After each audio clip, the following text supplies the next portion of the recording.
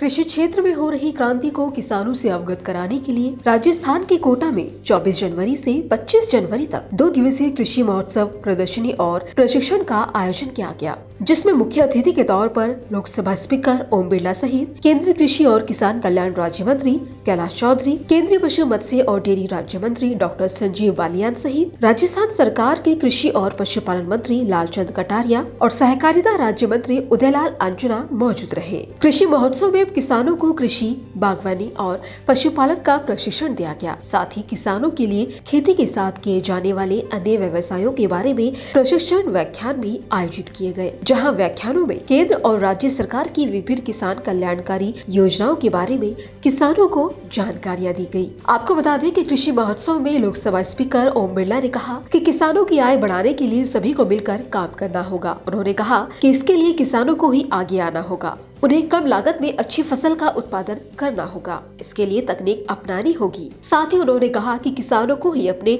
Production का process करके बाज़ार में बेचना होगा। इससे उन्हें ज़्यादा फ़ायदा मिलेगा। साथ ही किसानों को अपने प्रोडक्ट में वैल्यू एडिशन भी करना होगा। तो वही दूसरी तरफ़ केंद्रीय मंत्री कैलाश चौधरी ने अपने संबोधन में कहा की भारत सरकार ने कृषि बजट को बढ़ाकर तेरह लाख दो हज़ार करोड़ कर दिया है, जबकि दो हज़ार तेरह में ये महज तेईस हज़ार करोड़ था। प्रधानमंत्री नरेंद्र मोदी की पहल पर ही यूनाइटेड नेशन ने साल 2023 को अंतर्राष्ट्रीय मिलेट्स ईयर घोषित किया है। इसमें बहत्तर देशों ने समर्थन भी दिया। साथ ही उन्होंने कहा कि दुनिया में मिलेट्स के एक्सपोर्ट का फ़ायदा राजस्थान सहित देश भर में मोटे अनाज का उत्पादन करने वाले किसानों को मिलेगा। साथ ही इस कृषि महोत्सव में देश भर की पिछहत्तर ऐसी अधिक स्टार्टअप और कृषि उत्पाद निर्माता कंपनियों की उपस्थिति रही।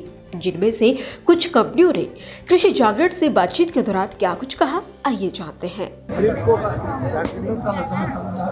क्रिप्को का राजस्थान में यूरिया डीएपी एमएपी आपके बीज हाइब्रिड बीज कई तरह के उत्पाद जो है किसानों को हमारी सहकारी समितियों के माध्यम से उपलब्ध करवाए जा रहे हैं। इसके साथ साथ जो है हमारी प्रमोशनल प्रोग्राम की जो गतिविधियाँ हैं किसानों को तकनीकी ज्ञान देने के लिए उसमें जैसे आज ये मेले में हमारी स्टॉल लगा है इसके अलावा हमारे पास पूर्ण लिटरेचर हम किसानों को दे रहे हैं साथ में।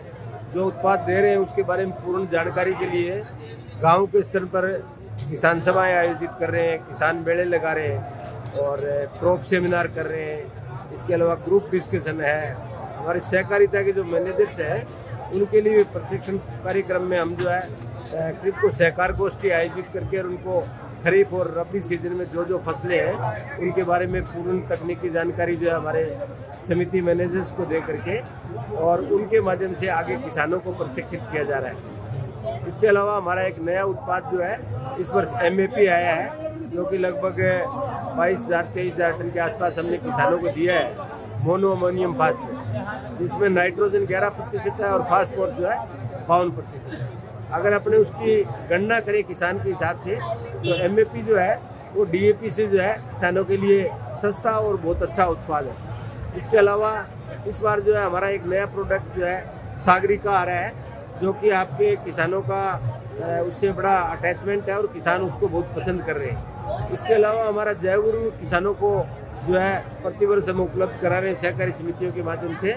और बीज के हमारे जो है, राजस्थान में दो प्लांट है। एक हमारा प्लांट हनुमानगढ़ में है और एक हमारा यहाँ कोटा में।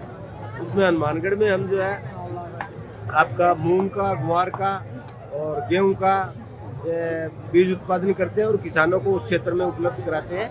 और कोटा में हम जो है आपका सोयाबीन और चने का, गेहूँ का और सरसों का बीज उत्पादन करके किसानों को उपलब्ध कराते हैं। तो कुल मिला के किसानों के सर्वांगीण विकास के लिए जो है, क्रिप को हमेशा जो है प्रयास कर रहा है, करता रहेगा।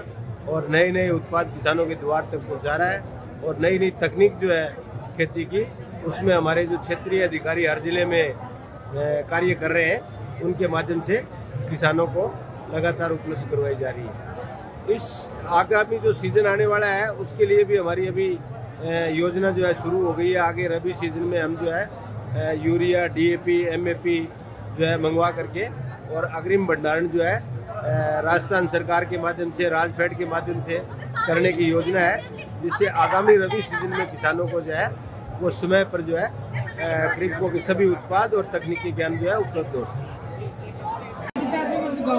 इंडियन पोटाश लिमिटेड राजस्थान की या इंडिया की गई है आप सबसे बड़ी एक्सपोर्टर कंपनी है। हम बाहर से सारा यूरिया डीएपी पोटाश वगैरह इंपोर्ट करते हैं। और पिछले दो सालों से अगर आप देखोगे तो राजस्थान में जो सबसे ज़्यादा डीएपी की जो शॉर्टेज हुई है, उसकी पूर्ति केवल आईपीएल ने की है। हम लॉसेज होते हुए भी सबसे ज़्यादा माल स्टॉक्स अपने यहाँ लेके आए हैं।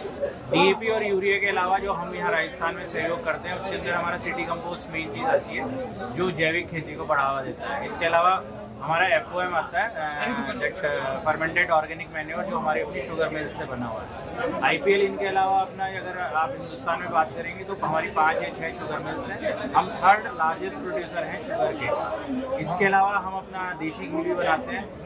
हमारा अपना कैटल फ़ीड भी आता है, जो दिल्ली और एनसीआर के आसपास ही जिसका कंजम्पशन हो जाता है तो उसकी क्वालिटी बहुत अच्छी है। राजस्थान के किसानों के लिए हमने पूरे राजस्थान के अंदर हमारे डेढ़ सौ प्लस डीलर्स हैं। हम डायरेक्ट स्टॉक्स पहुँचा के देते हैं, ना कि अदर कंपनियों की तरह कि वो अपना रेल हेड से बोल देते हैं कि आप माल ले जाइए हम दुकान तक माल पहुँचाते हैं, उसकी सारी कॉस्ट कंपनी बियर करती है।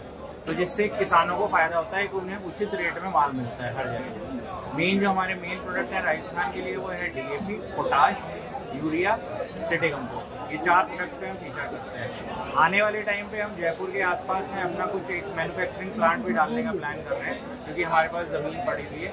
तो उसके अंदर हम प्रोजेक्ट ढूंढ रहे हैं, जिससे यहाँ के युवाओं को कुछ रोज़गार हम जनरेट करा पाएँगे। यही कहना चाहिए जैसा आप जानते हैं, इफ्को किसानों की एक सहकारी संस्था है। और इफ्को के जो नीति निर्माता है, वो भी किसान वर्ग से ही आते हैं। तो इसलिए इफ्को हर संभव वो निर्णय लेने की कोशिश करती है, जिससे देश के किसानों का और देश की कृषि का भला हो सके।